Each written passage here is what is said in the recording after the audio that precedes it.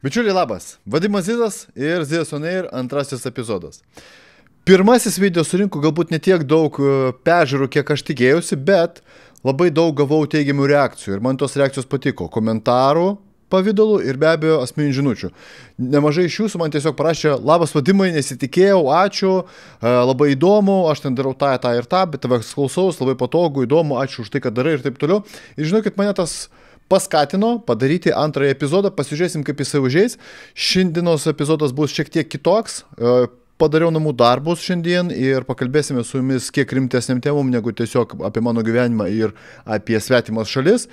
Taip kad, bičiuliai, jeigu klausotės manęs arba žiūrite bent kokioje platformoje, ar tai yra YouTube'as, ar tai yra Facebook'as, ar tai galbūt yra Spotify arba Apple podcastai, būtinai parašykite komentaruose, jeigu ten leidžiama rašyti, parašykite komentaruose, ką darot, kada manęs klausot.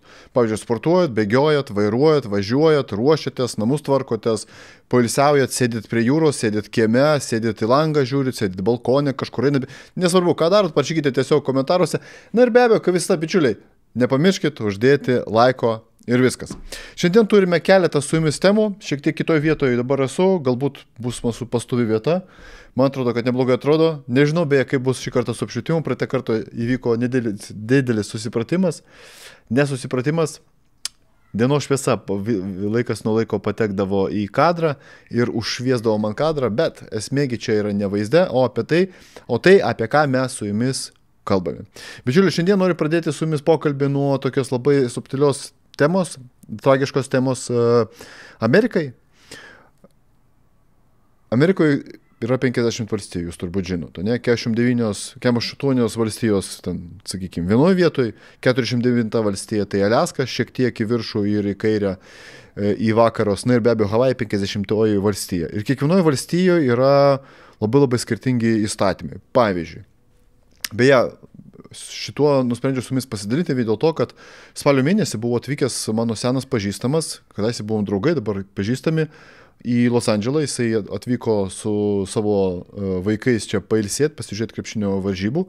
Ir atvyko pas mane, sako, vadimai, žinau, kad tu Los Andželė gyveni, susitinkam su Kubebė, Brulau, atvažiuok.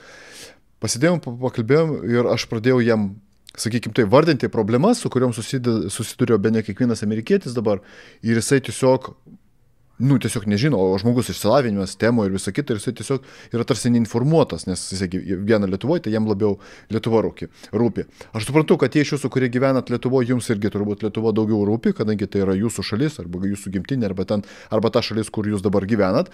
Bet noriu jums priminti vieną paprastą dalyką, žinokit, kad taip kaip gyvena JAV, arba tai, kas dedasi JAV po 5-7, kai kada ilgiau, kai kada greičiau metų, atkeliaus ir į Lietuvą. Atkeliauja iš karto iš JAV į Didžiąją Britaniją arba iš Didžiosios Britanijos jau tada atkeliauja į ES ir ES be abejo viskas atkeliauja ir į Lietuvą taip pat. Be abejo, mes kaip ir ne Tarybų sąjungų gyvenam, ačiū Dievui, ne komunistinė, ne socialistinė visuomeniai um, jau 30 metų, bet Europos Sąjunga, žinokit, irgi yra sąjunga, buvo Sovietų sąjunga, dabar Europos Sąjunga. Be abejo, yra daug, daug, daug įvairiausių privalumų. Galima keliauti, viena valiuta, ekonomika ir taip toliau. Yra daug privalumų, bet taip pat yra ir nemažai minusų. Ne man jums turbūt vardinti apie visus tos minususus, apie tai, kas vyksta Niderlanduose, pavyzdžiui, kas vyksta uh, Vokietijoje, kas vyksta Prancūzijoje, jeigu aš neklysiu dar Belgijoje, man atrodo, net toje pačioje Italijoje, kas vyksta su fermeriais, su ūkininkais, kas ten yra dar bandoma padaryti, tas, sakykime, progresyvumas, tas didžiulis, aš manau, kad tai ne pernelik iš gero gyvenimo, bandoma padaryti dar geresnį gyvenimą, bet mažumai. Ir bandoma įtikinti, bandoma žmonės įtikinti, kad vietoj jautinos geriau pavalgyti kokių nors kirminų, vabžių arba dar kažko, tai yra toks pat kokybiškas baltymas, ten tiek pat daug E, gerų medžiagų, ten ir geležies yra, ir magnį yra, ir ko ten tik tai nėra tuose e, vabžiuose ir sliekose ir visa kita. Tai jau prieš porą metų, man atrodo, buvo pasirodžiusi naujiena, kad Niderlanduose mokykloje, vienoje iš mokyklų arba keliose mokyklose buvo bandoma įvesti, kad vaikai per pietus būtų vaišinami ne normaliu maistu, o kažkokiais tai vabalais. Va, reikia saugoti planetą, nes karvės labai daug išmeta dujų, labai daug bezda. Tiesiog net to žodžio prasme, tipo karvės, susimastykit, karvės tiek daug bezda, kad e, kenčia nuo to klimatas ir dėl to yra taip karšta. Ir yra, žinokit, ant tiek karšta, kad e, balandžio pabaigoje, 20 e, 20 dienom Lietuvoje buvo sniegas kelias dienas, vat ant tiek karšta, žinokit. Ir ant tiek karšta dabar visame pasaulyje, kad Kalifornijoje, vat dabar yra balandžio 24 diena, kad yra 20 laipsnių tik tai. 19-20 laipsnių dienos metu. Kai rodoma, kad average turėtų būti 25-26. Tai suprantat, ant kiek yra karšta, kad šalta. Nu, o tiek karšta, kad šalta. Prie ko čia aš? Taigi, Amerikoje yra 50 valstijų ir kiekvienoje valstijoje yra skirtingų įstatymų. Pavyzdžiui, Kalifornija yra viena liberaliausių, kaip jie vadina, laisviausių valstijų, ten, kur didžiausi ribojimai visada buvo, kaip ir Lietuvoje didžiausi ribojimai, Laisvės partija, žinot viską apie Laisvės partiją kokia buvo laisvė ir ką buvo bandoma padaryti. Tai Kalifornija yra laisviausia šalis, kabutėse. Tai čia didžiausi ribojimai, didžiausi mokesčiai, didžiausi iš karto įsikišimai iš valstybės, iš vyriausybės. Ir yra, pavyzdžiui, atvirkščiai, yra kitoj pusėje Amerikos yra Florida, laisviausia šalis, bet jau be kabučių. COVID metu viskas buvo atidaryta, greičiausiai atidaryta valstija, didžiausia prieplauka, įplauka, atsiprašau, žmonių prieplauka, didžiausia įplauka žmonių, iki šiol e, antrus metus iš eilės daugiausia žmonių iš visos Amerikos migruoja būtent į Floridą dėl įstatymų ir taip toliau. Ir įstatymai keičiasi kiekvienoje valstijoje už tam tikrus nusikaltimus, ten, sakykime, Kalifornijoje už labai gaila apie tai, aišku, sakyti, dėja, aišku, didelė kova vyksta ir aš stebiu tos žmonės, kurie kovoja už vaikų teisės, už vaikų saugumą, sveikatą jų ir taip toliau, bet kai kuriais atvejais Kalifornija už pedofiliją gali nepasudinti netgi žmogaus į kalėjimą. O Floridoje, pavyzdžiui, pasodins ir turbūt dar arba iki galvos galvos. Ir galbūt kai kuriuose valstijose uh, Man atrodo, kad gali netgi ir kulką paleisti, o jeigu ne kulką, tai paleisti injekcija, tai yra mirties bausmė. Tai vat kiekvienoje valstijoje yra labai labai skirtingų įvairiausių įstatymų. Kai kur yra geriau, kai kur yra blogiau. Skirtingiems žmonėms skirtingi įstatymai labiau patinka.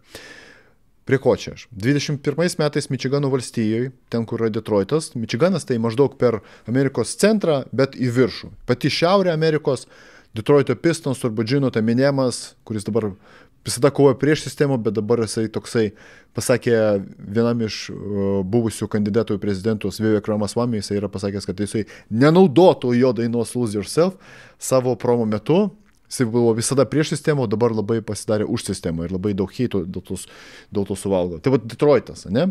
Valstija, kai miestas ir Mičigano valstija kadaise buvo viena stipriausių turbūt valstijų pačioj visoje Amerikoje, prieš šimtą metų, be abejo Fordas, visos gamyklos, General Motors, viskas yra Mičigano valstija, Detroitas didžiulis, didžiulis, didžiulis didžiulė ekonomika didelė, bet prieš 20-30 metų beveik bankrutavo pas Detroitas ir atrodo miestas dabar ne kažką. Aišku, turbūt ne taip blogai kaip kokia nors Čikaga, bet labai prastai atrodo Detroitas. Galbūt kažkas iš jūsų mane stebi ir būtent esate iš Mičigano valstijos arba Detroito miestų.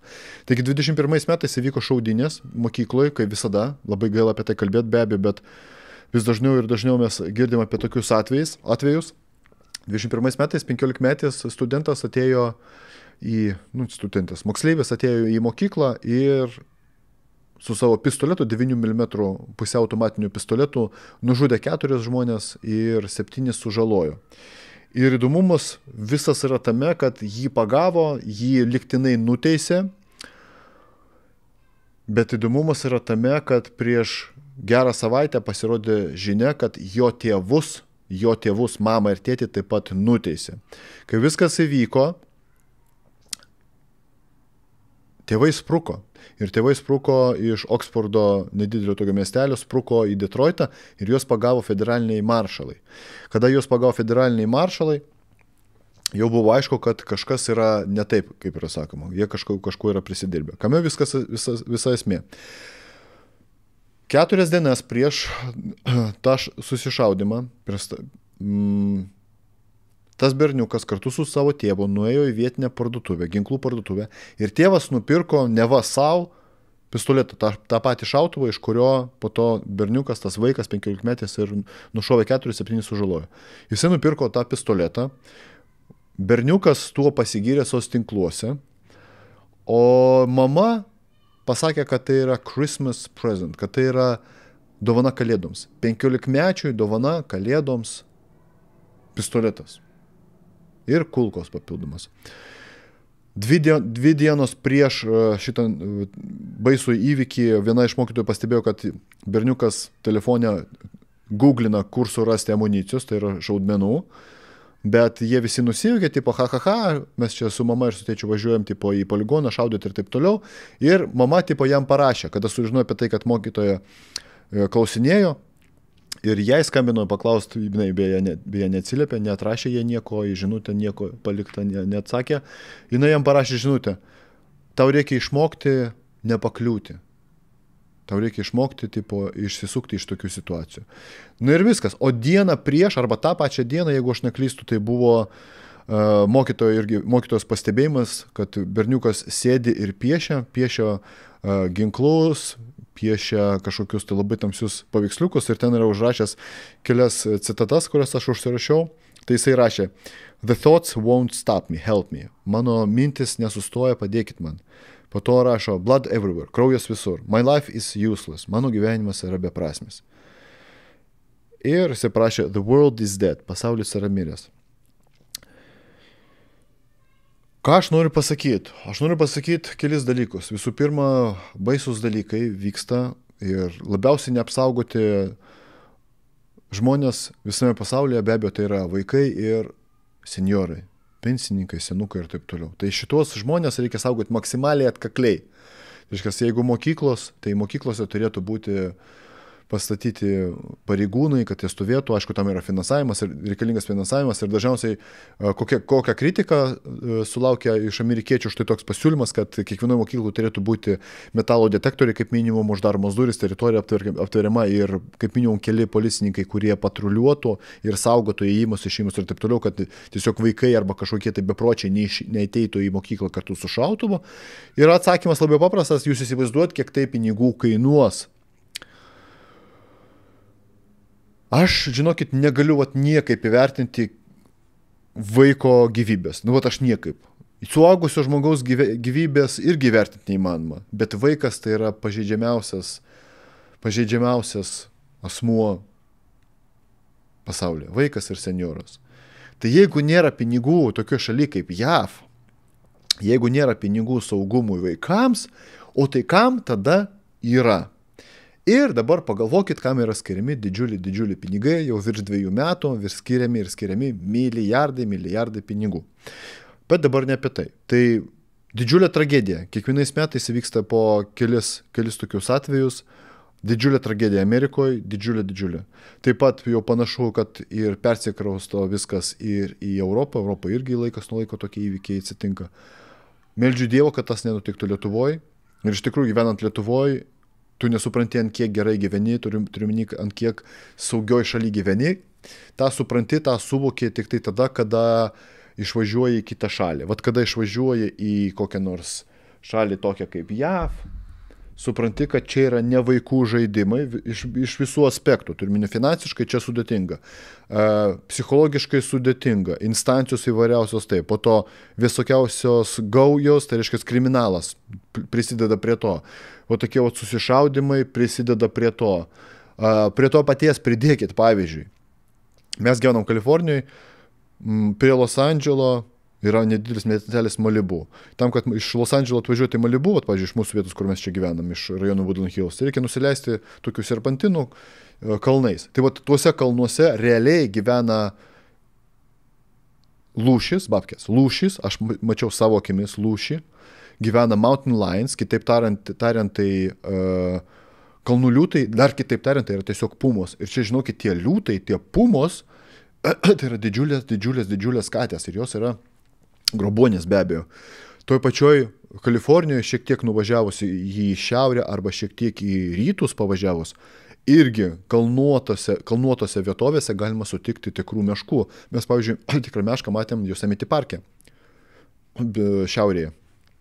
Taip kad, žinokit, šitoj šaly ir taip yra didelis tikimybės, galimybės, viskas yra iš tos pusės, kad galima pasiekti socialinį liftą, atrodo veikia ir gali daryti tai, ką nori ir gali pasiekti nuostabių rezultatų, bet taip pat reikia nepamiršti, kad yra daug įvairiausių pavojų ir blogiausia, kad tai yra pavojai, pavojai keliami ne iš gamtos, ten, sakykime, voras, skorpionas, puma, lukys arba dar kažkas, arba ten uraganas, koks nors tornado, žemės drebėjimas, kas būna irgi čia Los Andželė ir Kalifornijoje visoje. Bet tai dar atsitinka, kur tu net nenutokė, tu nuvedi savo vaiką į mokyklą ir tu realiai bijai sulaukti skambučio arba žiūri žinias, nedaug dievė ten kažkas nutiko. Ir antras dalykas, norėjau, kaip norėjau pakomentuoti šią situaciją, tai yra pirmas atvejis tada turbūt gyvenime, pasaulio, istorijoje, kada yra nuteisiami ne tik uh, dalyviai, tiesioginiai dalyviai uh, susišaudimo, tai yra tas, kuris šaudė ir nužudė žmonės, bet ir jo tėvai. Ir aš šitoj vietoj sutiksiu su, su teisės sauga. Štai kodėl. Kažkas pasakytų, žinai, vadimai, bet tai čia padarėgi ne tėvai, čia padarė vaikėzas, 15 metais, jisai dar nesuaugęs, bet jisai visgi savo galvą turi ant pečių. Sutiksiu, taip, jisai turi savo galvą ant pečių, bet žmonės neretai padaro nemažą klaidą, kada renkasi, pavyzdžiui, naminius gyvūnus ir ypatingai, kada renkasi šunį. Ir aš toks pat buvau. Mes 11 metais pasiėmėm su žmona Džeko Raselo terjerą ir galvojom, kad jis sėdės namuose, mes ten dirbsim 15 minučių į dieną, jį vedžiosim ir bus faina. O iš tikrųjų tai jam reikėjo begalę energijos, begalės energijos ir jisai kraustėsi iš proto ir e, mes kartu su juo taip darėm sėkmingai. Tai gerai, kad 20 metais mes atidavėm jį savo mačiutį, jisai iki šiol gyvena, jam beje 13 metų bus vasara, nuostabus šuo, patenkintas gamtoje laksto kiekvieną dieną. Tai kada žmonės renkasi šunį, tai dažniausiai renkasi, oi, koks gražus šuniukas, arba, oi, mačiau šitą šunį e, filme, labai fainė, populiaru dabar. Blema, kaip nori šito šunis, žiauriai fainės, afigienas šuo. Bet nesupranta, kad Šeimininkas neša atsakomybę už šunį, už bet kokį šunį. Ar jūs įsigysit taksą arba čihuavą, arba jūs įsigysit pitbulį, jūs nešat atsakomybę už šitą šunį. Ir neduok Dieve, tas šuo kažką padarys, kažkam, arba vaikui, arba suaugusiam, arba dar kažkam, jūs nešite atsakomybę. Ir neduok Dieve, tas šuo kažkam įkas, arba kažką sužalos, arba nedaug dievė kažką suvalgys, pitbuliai, amerikietiški Staffordshire terjerai, didž... dogai įvairiau, įvairiausi, rotveleriai, yra įvairiausi šunys ir patikėkite, yra šaltas ginklas. Ne veltui šuo yra laikomas šaltų ginklų. O dabar įsivaizduokite, jeigu jūs 99 procentai žmonių neįsivaizduoja, kaip reikia elgtis su šunim. Ir aš buvau toks pat. Aš dabar dėl to šuns ir neturiu, nes aš tik dabar susivokiau, kokia tai yra atsakomybė. Ir kad šunį reikia dresuoti, ne tiesiog įsigyti šunį. Ir taip, ai, tegul namuose uh, tūsina, sėdė, išeisiu su juo pasivaikščioti, paleisiu kur nors, klausys, neklausys manęs, pabėgs, tai pabėgs. Ne, šunį reikia dresuoti, jam reikia skirti dėmesio, tai yra tikras šeimos narys ir tai yra žmogaus atsakomybė. Tai turėkite omeny, bičiuliai, jeigu jūs niekada nesusimastėte, turėkite omeny, jeigu nusipirksit šunį arba turit šunį ir nedaug dievė kažką padarys blogo jūsų šuo, tai jūs atsakysit ir atsakysit kai kada netgi ne administraciniu nusižeidimu, o yra tikimybė, kad baudžiamojon atsakomybėn būsit uh, E, patraukti. Nedaug dievę, bet visgi turėkite omeny. Ir lygiai tas pats su vaikais, žinokit. Taip, vaikai yra nešunis, bet mes, tėvai, atsakingi už savo vaikus. Mes turim būti atsakingi už savo vaikus. Plus toj situacijai pats tėvas nupirko ginklą, pats tėvas parodė viską. Mama sakė, kad tai yra kalėdų dovana, tai kalėdų netgi nesulaukia. Tai vyko keturias dienas po Black Friday, tai, kad, tai pas mus lapkričio mėnuo pats nupirko ginklą. Kaip galima nupirkti ginklą 15 mečiui? Kaip galima nupirkti ginklą 15 mečiui? Galbūt aš su 15 mečiu savo sunum nuvažiuosiu į šaudyklą, galbūt, bet aš žinokit jį kontroliuosiu maksimum, aš jam neduosiu ginklo laikyti be mano akivaizdos pats ginklas turėtų būti seife, po kodu ir taip toliau. Aš Lietuvoje turiu licenciją laikyti ginklą. Aš laikiau ginklą Lietuvoje. Aš turėjau seifą, aš žinau, kaip reikia elgtis su ginklu. 15 mečiai aš ginklo niekada neduočiau. Aš niekada prieš jį nesimaivečiau su, su šito ginklu. Tai nėra krūta, tai nėra faina. Ir mes, kaip matom, tai priveda prie visiškos tragedijos. Iki gyvos galvos žmogus yra nuteistas. Iki gyvos galvos yra nuteistas tas žmogus. Jisai nužudė 4-7 sužulojo. Jisai neturi teisės išeiti į laisvę anksčiau. Neturi teisės. Tėvai nuteisti 15 metų kiekvienas, turi teisę išeiti anksčiau po 10 metų. Tai yra tragedija. Ir tragedija ne tik tos šeimos. Tai yra tragedija dar kaip minimum 11 šeimų.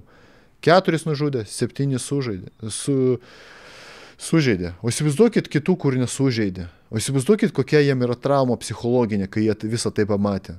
Vaikai ir taip nelabai mėgsta mokyklos. O dabar, jeigu pas juos yra trauma psichologinė, kad vaikas bijo eiti į mokyklą, berniukas, mergaitė bijo eiti į mokyklą, nes ten įvyko tokia tragedija, toks siaubas įvyko.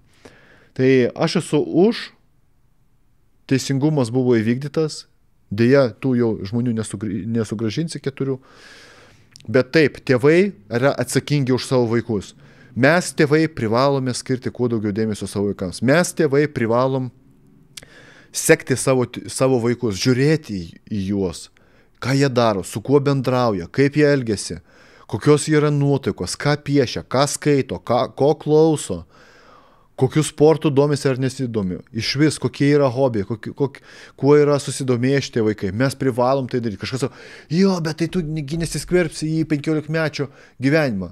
Aš skverbsiuos, žinokit, aš skverbsiuos. Aš stengiuosi su savo sunum palaikyti ir su savo busimais vaikais, stengsiuosi palaikyti maksimum tvirtus ryšius, kad jisai man galėtų pasipasakot. Nėra nieko blogiau, kaip 15 metis arba 15 metai išgyvena paauglystės depresiją ir apie tai negali pasakyti nei savo mamai, nei savo tėčiui. Bando su, su tuo susigyventi vienas arba viena ir arba imasi narkotikų, alkoholio vaistų, arba savižudybės, arba imasi tokių drastiškų veiksmų, kaip paimti ginklą ir tiesiog sušaudyti kitus. Tai yra tragedija. Ir dabar man pasakykit, kas yra geriau. Ar laikas nulaiko gauti prieigą prie asmeninių žinučių, ar sužinoti, kad tavo vaikas privalgė tablečių, arba pri, pri, prisinarkašino, arba nedaug dievę, nuėjo į kitą mokyklą ir dar kitus sužeidė. Štai tokios yra mintis. Ką galvojat jūs?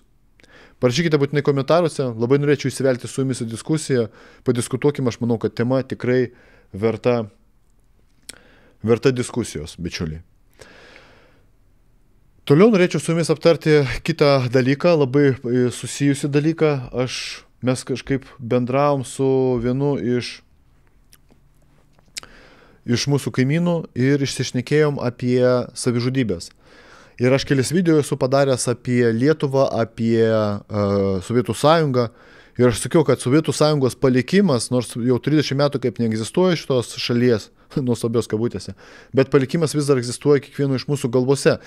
Netgi jeigu jūs gimėte jau ten po 90, tam po 95-9 metų, 2000-aisiais gimėte, nesvarbu, jau Tarybų sąjungos nebuvo, vis vien jūs esate to įtakoti. Kaip? Jūsų tėvai gimė ir užaugo Tarybų sąjungoje. Jos, jų mąstymas, atsiprašau, jums persiduoda, jūsų mačiučių mąstymas persiduoda. Visas mąstymas komunistų, socialistų, kad didžiulis yra trūkumas, visko bijojimas, bu, buvimas pilka masė, pas, bijojimas pasakyti, išsakyti savo nuomonę, viskas mums persiduoda. Ir labai keista, kad mes dabar artėjom lygiai prie tokios pat Tarybų sąjungos, Bet iš kitos pusės mes, mes artėjom, visas pasaulis, vakarų pasaulis artėja prie komunizmo konkretaus. Kaip? Kanadoje bandoma įteisinti už hate speech arba tai už neapykantą, neapykantą uh, pagrįstą kalbą, nori priimti įstatymą, kad galima būtų pasodinti žmogų iki gyvos galvos. Dėmesio, pasiskaitykit. Tai nėra samsto teorija ar dar kažkas. Kanadoje nori priimti įstatymą, kad už hate speech arba už įžeidimus internete galima būtų sudinti žmonės iki gyvos galvos. Dėmesio, čia buvo prieš porą mėnesių naujiena pasirodžiusi. Prieš kelias dienas pasirodė naujiena.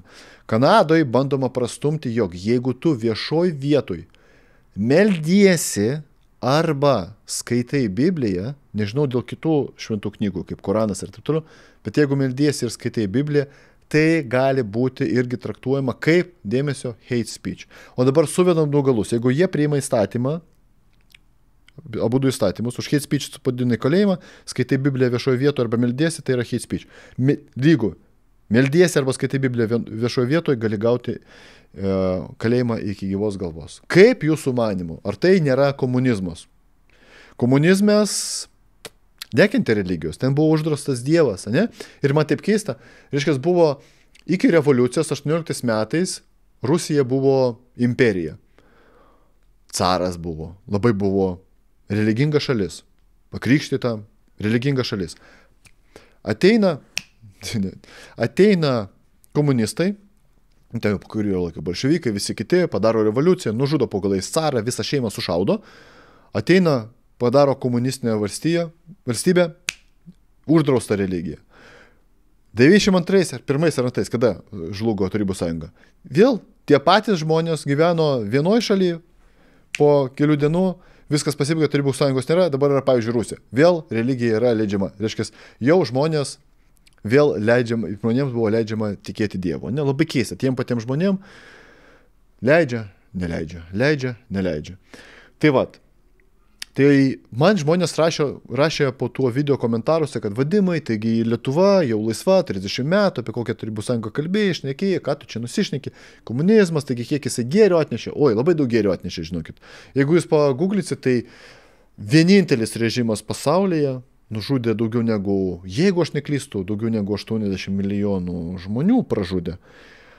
Apie 50 milijonų vien tik tai Kinijoje buvo nužudyta. Dėmesio, kiniečių. Patys kinai žudė savuosius. Rusai nužudė ištrėmė į Sibirą 20 milijonų rusų, lietuvių, latvių, baltarusių, ukrainiečių, visų šitų. Irgi ištrėmė į Sibirą arba nužudė 20 milijonų. Tai vat, neblogas režimas komunizmas, ne? visi lygus atrodo, viskas faina, viskas teisėtai, viskas vardant šalies, bet kažkaip dešimtis dešimtis milijonų savų, pabrėžiau, savų gyventojų nuolat kažkaip miršta kažkokiu tai stebuklingu būdu. Ir aš su tuo nesutiksiu, kad, e, kadangi, kad Lietuva gyvena jau 30 metų nepriklausomai, Tarybų sąjungos jau nebėra, komunizmo jau nebeegzistuoja Europoje ir Lietuvoje. Bet nesutiksiu su tuo, kad palikimo nėra. Palikimas yra didžiulis. Dabar paimkim su jumis ir pasižiūrėkime iš tai tokį labai paprastą sąrašą. Dabar žiūrėkit. Per šimtą tūkstančių gyventojų kiek yra savižudybių pasaulyje. Pagal sąrašą mes eisim, ne? mes galim paimti ir tiesiog eiti pagal sąrašą. Pirmoje vietoje 100 tūkstančių gyventojų, 72 savižudybės. Lesoto, Lesoto populiacija. Aš žinokit, net nežinau, kas tai yra per šalis tokia Lesoto. Antroje vietoje Gujana. Tai bus, aš įtariu, kad tai bus arba Afrika, arba kažkur prie, prie Australijos kažkokios tai salos. Trečioje vietoje Esvaitini kažkoks. Nežinau šitos šalies. Ar jūs žinot? Aš net nežinau, kaip, skaitis, kaip perskaityti šitą pavadinimą. Ketvirtoje vietoje Pietų Koreja. Penktoje vietoje Kiribati. Šeštoje vietoje Mikronezija prie Australijos. Septintoje vietoje Lietuva. Aštuntoje vietoje Suriname. Po to devintoje vietoje Rusija, dešimtoje vietoje Pietų Afrika.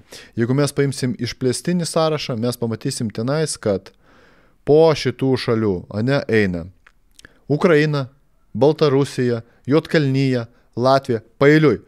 Jotkalnyje, Latvija, Slovenija, po to eina Belgija, Vanuatu, Mongolija, Kazakstanas, Vengrija, Kroatija, po to eina JAV, po to yra Botsvana, Afrika, Japonija, Estija ir taip toliau. Bičiuliai, o kaip taip gaunasi, kad iš 20 valstybių, kur yra didžiausias rodiklis pagal savižudybės, Iš 20 šalių mes suskaičiuosim kaip minimum 6 arba 7 šalis, kurios buvo Tarybų sąjungoje prieš tai. Kaip Jūs galvojate, ar tai yra susiję ar ne? Aš manau, kad tai yra smarkiai susiję. Kodėl? Nes visos šitos šalis buvo komunistiniai valstybei. Komunizmas tai yra didžiuliai, didžiuliai ribojimai. Jeigu jums nepatiko, kas įvyko po 20 metų, 21, 22 ir dabar kas yra bandoma padaryti, kad tos tinklai blokuoja jūsų nuomonę tam tikrom temom, negalima kalbėti, blokuoja jūs iš karto, cancelina, atšaukia jūs iš karto. Kai kuriuose valstybėse, tokiuose kaip Kanada, pavyzdžiui, arba Australija, galima netgi už groto atsidurti už tai. Tiesiog už diskusijas internete. Tai vad, artėjame link komunizmo ir vėl. Tai klausimas jums, kaip jūs galvojat, kodėl iš 20 šalių aukščiausius rodiklius turi šios šalis, tarp jų yra kaip minimum 6-7 valstybės, kurios buvo, buvo, buvo tarybų sąjungoje. Lietuva juose tame sąraše pirmauja, pogalais. Mes esam šalis, kurioje gyvena mažiau negu 3 milijonai žmonių. Kaip mes galim pirmauti dviejose didžiausiuose rodikliuose, blogiausiuose pasaulyje? Mes į top 10 einam pagal tiek, kiek išgeria lietuviai ir tiek, kiek nusižudo. Nu, vat kaip taip yra įmanoma? Iš visų šalių Ir pabrėžiu, mes gyvenam ne Afrikoje. Bado pas mus nėra, mes nebadaujam. Bet mes pagal savižudybės šeštoje vietoje pasaulyje. Šeštoje vietoje po galais. Aukščiau mūsų tik tai Afrikos valstybės arba tos valstybės, kur aš net nežinau, kas tai, kaip, kaip ištarti pavadinimą šitos šalies. Ar jūs suprantat? Ir kai man žmonės sako, kad ne, vadimai, čia tiesiog mūsų mąstymas toks lietuvių, mes tiesiog nemėgstam savo kaimynų, mes O iš kur mes nemėgstam savo kaimynų? Jūs galvojat prieš šimtą metų, prieš šimtą penkiasdešimt metų, kai, kai mes buvom arba su Lenkais, arba mes buvom nepriklausomi, jūs galvojat, buvo tas pats? Aš nemanau, tai, kad tai buvo. Nekesti savo kaimyno tai reiškia pavydauti jam, pavydėti jam ir jeigu ką, skambinti kažkam. Jeigu kažką mes pamatėm, kad kaimynas kažką daro, teisingai, pavyzdžiui, varo samogoną, mes paskambinam, pranešam, atvažiuoja policija, jį tą kaimyną sulaiko. Iš kur tas atėjo? Iš Tarybų sąjungos. Tenais buvo įprasta, jeigu tu matai nusikaltimą, kad tavo kaimynas, pavyzdžiui, varo samogoną, didžiulis nusikaltimas, skambink būtinai, pranešk ir taip toliau. Bičiuliai, pasikalbėkit su savo močiute, pasikalbėkit su seneliais, jeigu jie vis dar gyvi ir jiems yra bent jau 80 metų, jie papasakos, kas vykdavo 50-60 metais, kokie baisumai buvo. Anekdotą papasakojai apie Staliną, apie Leniną papasakojai anekdotą. Realiai. Juokelis apie, apie Staliną arba Leniną, jeigu kažkas išgirdo, paskambino policiją, niekas tada, į miliciją, atsiprašau, niekas tada netikrino, o tai turi įrodymus, galbūt tai rašęs tu esi į diktofoną, kaip tavo kaimynas pasakojo Bairio anegdotą apie Staliną arba Leniną, nieko to nereikėjo. Tiesiog, sveiki, mano kaimynas, o aš jo nemėgstu, pavyzdžiui, pas jį graži žmona, aš esu vienišas. Čia kaip pavyzdys. Arba jisai užima aukštesnę darbo, darbo poziciją tam pačiam fabrike, kur mes dirbam, aš labai norėčiau jo poziciją užimti. Paskambina mano kaimynas, ten, pavyzdžiui, Lietuvoje, mano kaimynas Kestutis Vytautas, Algirdas, juokavo. Jisai prikolino iš Stalino. Rusijoje dar labiau tas buvo. Lietuva, žinokit, dar buvo geriausia vieta turbūt Tarybų sąjungoje buvo Lietuva. Bet Rusijoje, Ukrainoje, Baltarusijoje tai buvo tragedija. Aleksandras pajokavo apie Leniną. Ha, ha, ha. Atvažiuodavo ir įstatydavo, kaip sakoma, pistoną į vieną vietą. Labai buvo viskas paprasta. Ir čia dabar tas pats. Noriu priminti, kad 20 metais, 2021, jeigu aš neklysiu dar, štai čia Kalifornijoje buvo nuostabaus gubernatoriaus priimtas įstatymas, jeigu tu pamatai kaimyną arba tiesiog pamatai žmogų be kaukės kur nors, arba tu pamatai, kad jie tipo turi kažkokį tai vakarėlį, arba laukia pamatai, kai niekam negalima buvo išeiti į lauką ir tu pamatai, kad tai tavo kaimynas, arba kažką pamatai gatvėje, kad jisai yra be kaukės ir dar yra laukia, ir, pavyzdžiui, nevedžioja šunį. Paskambink policijai ir buvo realiai tas daroma. Buvo įteisinimi tie patys įstatymai, tie patys principai, kurie buvo, buvo kitam pasaulio gale tarybų sąjungai. Suveskit du du, du taškus ir pamatysit, kokia linkme mes su jumis judam. Apie gerus dalykus, kokia linkme mes su jumis judam. Bičiuliai, jeigu dabar užėsite į zis.lt, jūs pamatysite nes kelias nuorodas. Balandžio 29 dieną mes organizuojam su žmona paskutinį savo nemokamą trijų dienų iššūkį. Moterims skirtas iššūkis trijų dienų kūno ir proto detoks Gausit mytybos planą, gausit receptus, gausit treniruotės, meditacijas, PDF knygą. Bus labai faina, įdomu, kviečiu prisijungti kiekvieną iš jūsų. Jeigu esat vyras, užregistruokit savo žmoną, užregistruokit savo draugės, nusiųskit jiems nuorodą. Jeigu esat moteris, būtinai užsiregistruokit pati, balandžio 29 startuoja. Ir pakvieskite irgi taip pat visas savo draugės, tai yra nemokamai, pakvieskit, pažadu, kad bus įdomu, 3 dienas, 3 vakarus mes su jumis ir kartu su Anastasija Pažadu, kad labai įdomiai ir gerai praleisim laiką, taip kad būtinai užsiregistruokit. Jeigu klausotės arba žiūrit šį ZSON ir jau po balandžio 29 dienos, vis vien užsukite į zs.lt, ten yra nuorodos, kaip minimum 3, nuoro, 3 nuorodos į maratoną arba sporto programą naujokams visiškai nemokamai, 5 dienų liekninamą į maratoną nemokamai taip pat ir tas pats detoks maratonas bus užsirašykit ir gausite viską elektroniniu paštu kiekvieną dieną, taip kad būtinai užėkite į www.zis.lt, užsiregistruokit ir bičiuliai susimatysim visai visai netrukus. Tęsiant temą apie savotišką pasaulio pabaigą, po galais. Uh, tiem iš jūsų, kuriem yra, kaip man, ten 30 plus metų, galbūt kažkam yra šiek tiek daugiau negu 20 metų, kurie yra jaunesni negu 50. Mes turbūt sėdim ir jūs turbūt sėdite ir galvojat, nejaugi mes realiai judam prie pasaulio pabaigos. 20 metais tai, kas įvyko, tai neturėjo jokio, uh, tai buvo incidentas.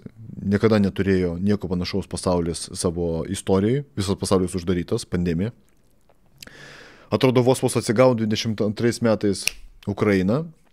Niekas negalėjo, niekas negalėjo patikėti, kad Europoje gali uh, vykti karas. Paskutinis karas, kuris vyko Europoje, buvo užbaigtas, jeigu aš neklystu, 99 metais. Tai be abejo Jugoslavijos karas, te, besitęsintis tada gerą dešimtmetį.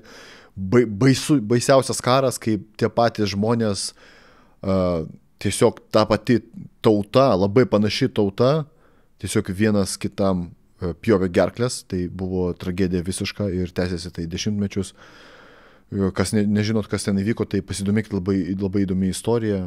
Jugoslavijos karas, wow, ten buvo pridaryta tiek daug klaidų, kai buvo sukiršinti beveik tie patys žmonės, skirtingų šiek tiek uh, religijų, bet toj pačioj teritorijoje, nu ten žodžiu, tai Jugoslavija. Tai 22 metais karas Ukrainoje ir iki šiol jis tęsiasi jau virš dviejų metų.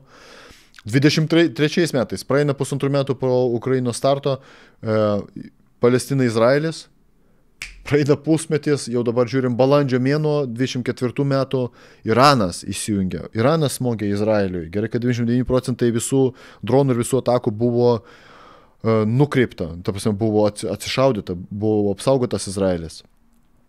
Ir atrodo tiek daug karštų taškų, trūksta, sakyčiau, tik tai iki, iki Flash Royale, turbūt trūksta mums ko? Taivano, Taivanio ir Kinijos. Nu tada bus iš vis tada super, žinokit. Uh, Aš manau, kad tada jau nieko.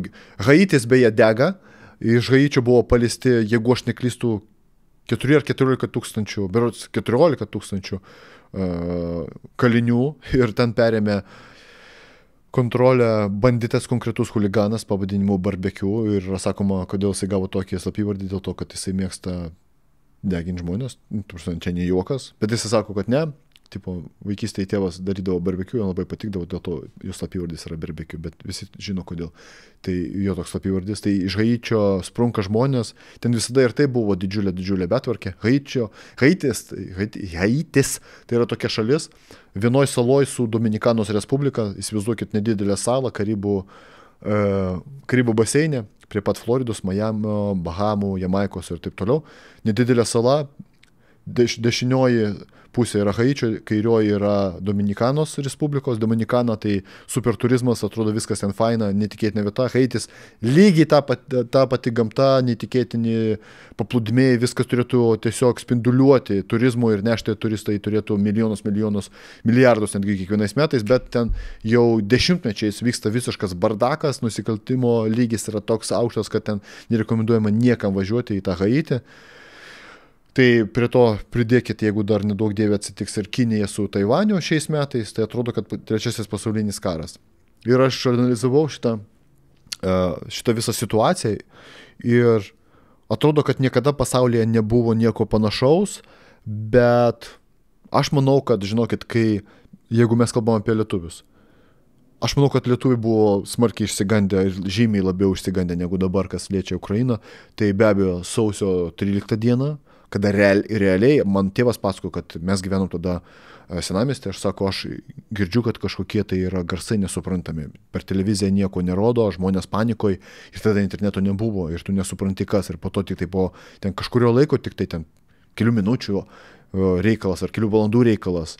Išsiaiškinama yra, kad tankai atvažiavo prie televizijos bokšto ir bandoma perimti vėl kontrolę Lietuvos iš rusų pusės pogulais. Aš manau, kad tai turbūt buvo sunkiausias momentas mūsų tėvams ir mūsų seneliams. Aš dabar tik tai galiu įsivaizduoti.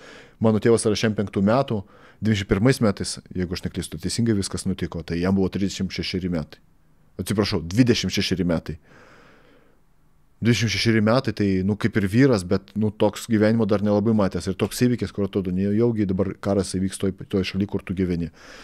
Jeigu atsitrauksim šiek tiek žemiau, tai, tarpsime, anksčiau istorijai, šaltasis karas, 60, jeigu aš neklysiu, treti, metai, Karibų krizė, kai beveik buvo paleistos raketos į, į, į vieną ir kitą pusę, irgi, man atrodo, buvo didžiulis, didžiulis stresas. Paimkim mūsų senelius, prosenelius, Be abejo, karas, karo pabaiga, 45 metai, po to ten savotiškas bad, badas, nesusivokimas, nesupratimas iš viskas vyksta. Iš pradžių ten vokiečiai, po to rusai, tarybų sąjunga, po to Sibiras, komunizmas, e, visa inteligencija arba nužudoma, arba ištveriama į Sibirą. Kuo protingesnis esi, tuo blogesnės sąlygas turėtum turėti gyvenime nes esi pernelik protingas, inteligentai buvo nereikalingi, nes galėjo padaryti revoliuciją. Ir žinokit, man atrodo, kad mes tiesiog gyvenam štai tokiais laikais, kai yra vat, tokie įvykiai. Aš labai tikiuosi, kad kiekvienas iš mūsų, kas dabar gyvena, kad tai yra sudėtingiausias. Dabar išgysit, ką, ką sakau. Aš labai tikiuosi, kad kiekvienam iš mūsų pasaulio gyventojų, kiekvienam iš pasaulio gyventojų šis laikotarpis yra sudėtingiausias ir bus sudėtingiausias gyvenime. Ką turiu omenyje? kad tai, ką dabar išgyvenam, blogiau jau nebebus. Kad tai yra sunkiausia, sudėtingiausia, mes ištveriam ir daug, toliau ateityje bus tik tai lengviau, lengviau ir lengviau ir lengviau. Ne? Baisiausias įvykis turbūt žmonijos istorijoje be abejo, tai mano manimo, antrasis pasaulinis karas, nacistai, holokaustas, holokaustas, holokaustas, lietuviškai nežinau netgi kaip šitas žodis vadinasi. Šitas dalykas, po to komunistai, Stalinas, represijos, Sibiras ir visas šitas reikalas, kuris tęsiasi dešimtmečiais, aš manau, kad bent jau Lietuvos istorijoje tai buvo labai labai didelė tragedija iš tikrųjų, kiek buvo nužudyta žmonių karo metu, po to Stalino pagalba pagalais ir taip toliau. Tai labai norisi tikėti, kad e, dabar mes kažkaip žmonija jau suprato, kad pasaulinio karo negalim sauliaisti, kažkaip diplomatiškai reikia tartis kažkokias aukas vis vien pasaulis turės, bet kažkokios aukos tai yra geriau negu pasaulinis karas. Einšteinas yra pasakęs, aš nežinau, kokiais ginklais bus kovojama uh, trečiojo pasaulinio karo metu, bet žinau, kad ketvirtasis pasaulinis karas bus tik tai pagaliais ir akmenimis. Reiškia, jeigu mes jau turim brandolinius ginklus, mes jau turim lazerius, mes jau pagalais turim dronus ir, ir tiek daug visko turim, plus mes turim kiberatakas, Ir kažkas jau sako, kad žinokit, tas trečiasis pasaulinis jau senų seniausiai vyksta. Tiesiog mes to nepastebim arba tiesiog tai yra neįvardėjimo ir viskas, nes kiberatakų kokių yra įvairiausių e, po visą pasaulį. Ką kiniečiai daro ir ką kiniečiai nori padaryti su JAV, tai turbūt niekam nepaslaptis. Aš nežinau kodėl, bet vis dar žmonės yra, kurie e, nebijo nei kiniečių, nei Irano, nei rusų. Rusų, rusai galbūt ir nenorėtų nieko blogo, sakykime, Amerikai padaryti, nes jie turbūt supranta, kokia yra gale pas, pas JAF ir pas NATO. Na, bet kiniečiai, jie irgi supranta, kokią galę turi didžiulė NATO, bet jie veikia kitaip. Jeigu rusai vat, paima ir tiesiog užpuola, tiesiog kabutėse, užpuola kitą šalį Ukrainą ir bando atkovoti e, žemės, tai uh, kiniečiai daro kitaip. Jie kiberatakų dėka prieš metus laiko, prieš pusantrų metų, jie apskraidė balionai, turbūt esat girdėję, ir tai buvo nustatyta, kad tai yra e, kiniečių šnipas, ta prasme, kameros ir visa kita, jie tiesiog šnipinėjo. Ir valandų valandas, jeigu aš neklystu visą parą, turbūt po visą JAV teritoriją skraidė šitas balionas ir tik tai po to jį kažkodėl nušovė ir visi juokėsi, sako, kaip čia taip gali būti, kad saugi, prie, stipriausios pasaulio valstybės dangui svetimos priešingos valstybės šnipas nors ir ne žmogus, bet šnipinėja, balionas, aparatas su kamerom, su viskuom ir niekas nėra daroma. Tai ar tai yra baisiausias laikas pasaulio istorijai? Manau, kad ne. Bent jau aš ir jūs saugiai esam, kūriam, uždirbam, dirbam, maitinamės, maitinam savo vaikus, savo tėvus ir taip toliau. Nėra pasaulinis karas, bet kai kuriuose valstybėse, kai kuriuose pasaulio taškuose yra labai labai karšta ypatingai artimieji rytai, be abejo Izraelis, Palestina, dabar Iranas prisijungė. Izraelis sakė, kad jie smoks atgal šimtų procentų. Aš nelabai suprantu iš tikrųjų žmonių, kurie sako, Izraeliui, Izraelis neturi teisės smogti atgal, kaip čia taip.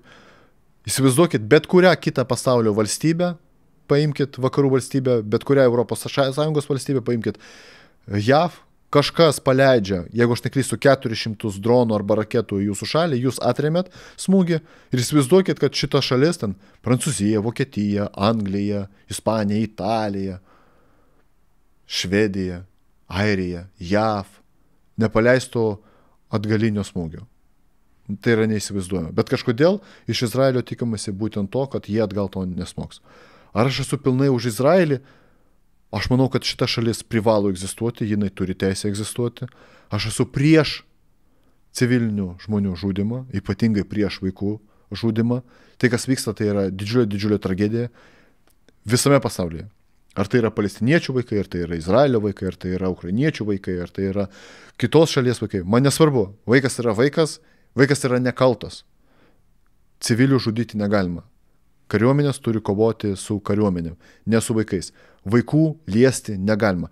Tai turbūt mes, nu ko pradėjom šitą pokalbį, tai turbūt e, ties, šituo, ties šitą temą mes ir užbaigsim šiandienos ZSN. Ir mano manimu, e, šiandienos e, epizodas kiek tamsokas, bet noriu priminti, kad gyvenam vis vien, vis vien, bent jau mes su jumis, jeigu jūs esat Lietuvoje arba esat Anglijoje, Švedijoje, Norvegijoje, Vokietijoje, kur jūs bebūtumėt, jeigu nesat karštam taške, tokiam kaip Izraelis, Palestina, arba ten Iranas, Ukraina, arba dar kažkur, tai mes vis vien su jumis gyvenam geriausiais įmanomais laikais, kaip galima uždirbti lengviausiai pinigus vis dar, kaip galima turėti bet kurio maisto ant stalo tiesiog pinigų klausimas ir viskas, maistas prieinamas čia ir dabar, Tarybų sąjungoje reikėjo eiti ir laukti mandarinų sasiskų eiliai, dabar to nėra, yra galimybė užsidirbti pinigų, reikia pasukti savo galvą,